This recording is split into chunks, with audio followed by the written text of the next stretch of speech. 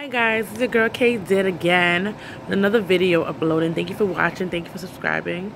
Okay, this is basically a video about New York City subway stations. Okay, I talk about the MTA a lot on my channel because they they irk me, but today is really not about. It's about them, but not them. It's basically saying what you find in the subway station. I should do a I should do a full video like that. Just walk in the subway and then take pictures and do videos like that. I'm gonna do that one day when I have the time certain things you can find in the subway station. Of course, you can find big old fat cat looking rats. These rats in New York is running the streets and they also run the subway station. It's ridiculous. I, I think I've seen like one, one of them or two of them so far, but people see, see them all the time running on the tracks. I'm surprised they don't like just get execu executed, electrocuted because they're foolish. They just run across the tracks. They, I think they, there's one guy saw a video and he was standing in the subway. All of a sudden, he just saw a rat and he kicked it off to the. It was just disgusting. People find period blood on seats. I haven't found that yet, but people have told me that they find period blood like blood on seats. It's disgusting, really.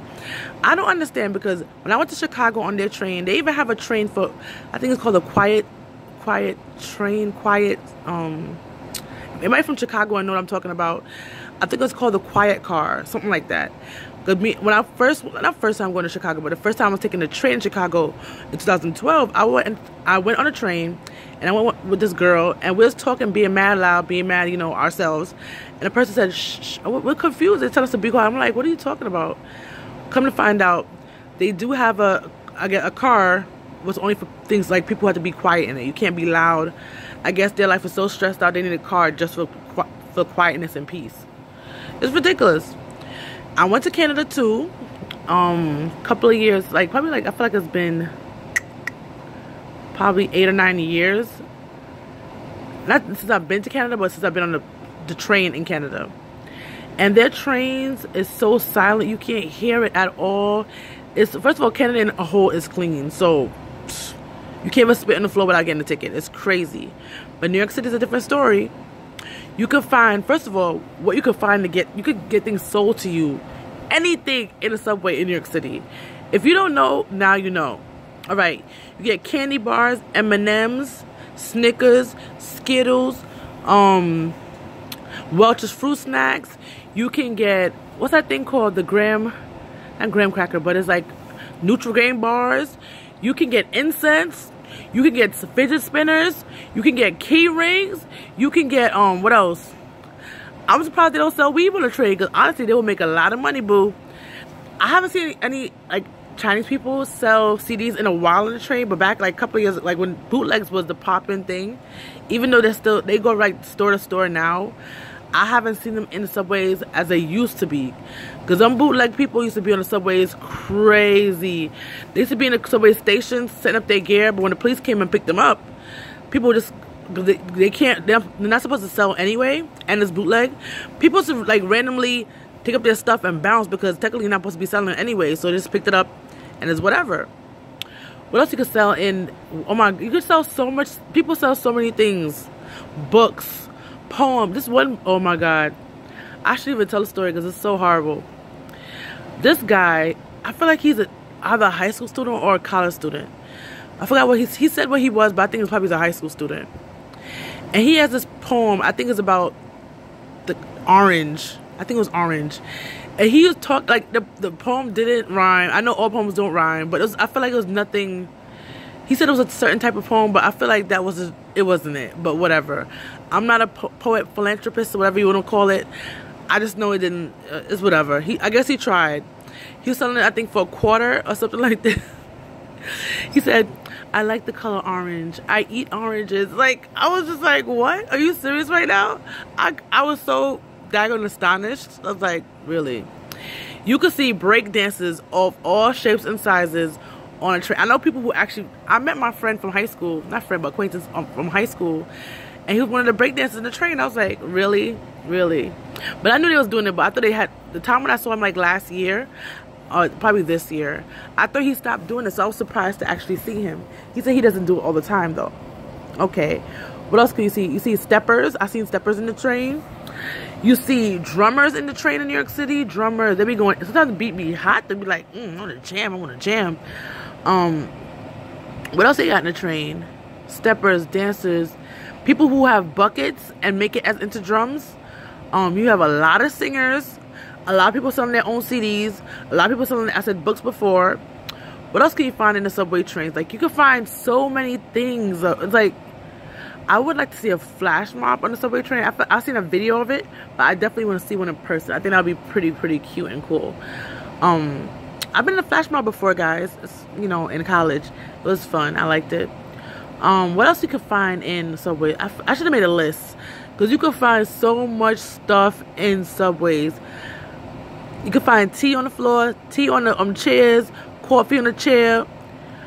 I, am not gonna say nothing. My daughter one time spilled Cheerios on the train. Well, a couple of times. I had to just put just be nice and kind of sweep it under the chair so people don't step on it that much. I felt kind of bad, really. I'm like, they get enough of my money. Well, well, not gonna kill them. Sometimes you know she's a kid. She's gonna knock it over. What else can you see in the train? Um, I seen so many. The first time I saw incense in the train was a couple of weeks ago. I was like, incense? Who's buying incense on the train? But I guess it's a good idea. You could go to your customers. Your customers don't have to come to you. Um, I feel like I've seen perfume get sold in the train before. People sell so many things. All of a sudden, they're to start having a black market, like heart transplant on the train. I promise you. Or something like that. Because they always, anything that comes out, they got it on the train. It's crazy. Crazy. And then they have the one for the homeless people. These two, I so far seen, I think, two or three different people do it. But there's this one big guy. He's always, he's been doing for years. I've been seeing him since I was like forever. Like when I was like way back then. They said they doing, um, they have like sandwiches and chips and all that for people who are hungry. And they give it out on the train. And they ask for donations in their little Pringles cup. Kiki, what happened? Kiki, you okay? So done with you. I don't know. What else can you find on the subway? Well, you just you be surprised. Oh my god, the other day in the subway, this lady had and her kids was they came out, but I guess she rushed out too too much out of it, out of the train. She left one of her bags behind. So we're actually at the the one with the conductor in the middle. Is he even called a conductor? But whatever. He's in the middle of the train, and she knocks on the subway door. I don't know if he saw her or not. I'm not really sure. But she knocks on the door. Usually, I think if he knew her bag was in there, he probably would have stopped the train and opened it for her. But he didn't. She's knocking on the door, knocking on the door, knocking on the door, and I guess point to her bag. And the man was um saying he, it was a white guy who actually it was a black lady with her kids. And white man saw the, the bag, and she just gave it to. Kiki, what's wrong? She don't want my feet near her. She don't like my feet. Oh my gosh. Her feet is not that bad, KK. So she's screaming, carrying on because my feet is near her, her, um, her bed. Mess. When you have your, your dogs on me in the trade, I don't say, well, I do say something. I take a, when she's in the train, she, she try to relax or be like, I'm her couch. So I'm like, no, boo boo. Put your feet down. This is not your house. This is the train station. So, yes. So, yeah, so the guy, I told the guy just to give it to the guy inside, the conductor person. And she, he will, like if she's smart, hopefully she went to go to the MTA and call about it because I, my mother, when I was younger, one time I lost my mother's bag. She blamed it on me, but I was a kid. She should have kept her own daggone bag if you ask me. But whatever, potato, potato, tomato, tomato, whatever. But she got her bag back. Um, it was on the 85. She lost it on. I remember like it was yesterday. It was probably like five or six when it happened. My brother wasn't born yet, and he's born when I was seven and we called MTA. MTA said they found her back and she went to MTA.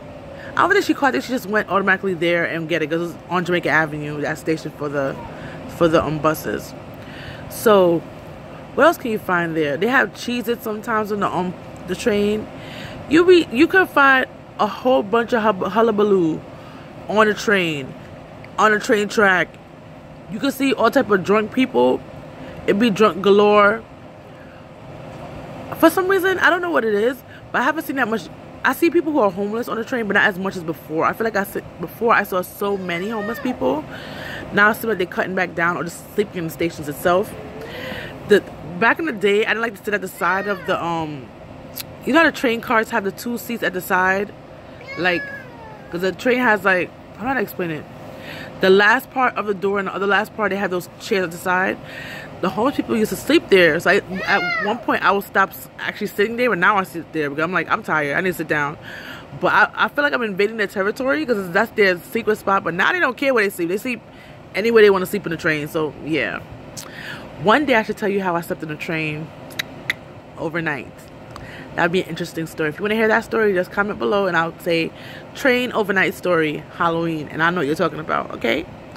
Um, what else can you find in a train? Oh my gosh. People send people sell so much stuff. It's crazy. You be so yo.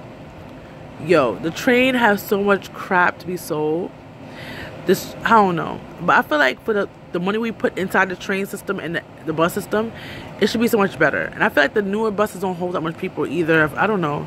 The older buses, are, the newer buses seem like it's not that strong for the snow either. Compared to the older buses, I'm not sure.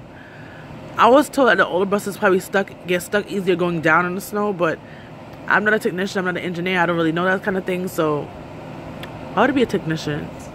Whatever. But I don't know nothing about cars or vehicles. Basically, that's what I'm saying. So I don't know what's true or not true, which one is better or not better. But if you know, you could comment down below. I'm kind of rambling, guys. I love to talk. I kind of love to talk, ish. But yes, if I'm talking too fast in these videos, guys, just tell me. I think I am talking too fast though. People who are used to me can understand what I'm saying, but I get excited too fast, and that's why I talk extra fast when I'm like, you know, talking. Um, and I have so much things in my brain to say, and it's just coming out of my mouth very fast. It's just like so much ideas and things and places and whatever. But guys, this weekend I want to have some fun. I might attend a rehearsal because I have this like holiday thing coming up, so I might do that this weekend actually, instead of going out. Um, I want to do large. I some another video. I want to do laundry for the like early this weekend. I still haven't got around to it. I hopefully tomorrow or Saturday, like no, really tomorrow. I hopefully get done. Um, hopefully KK is good. Yeah, guys. If you have any tricks, tricks and tips about anything, let me know about money savers.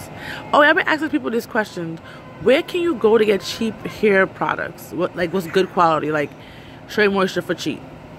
I doubt it's gonna be cheap because I feel like everybody who talks about it always says expensive, which it is. But I love the kids kids line that I got for my daughter's hair. Got put it on my own hair, and it works wonders.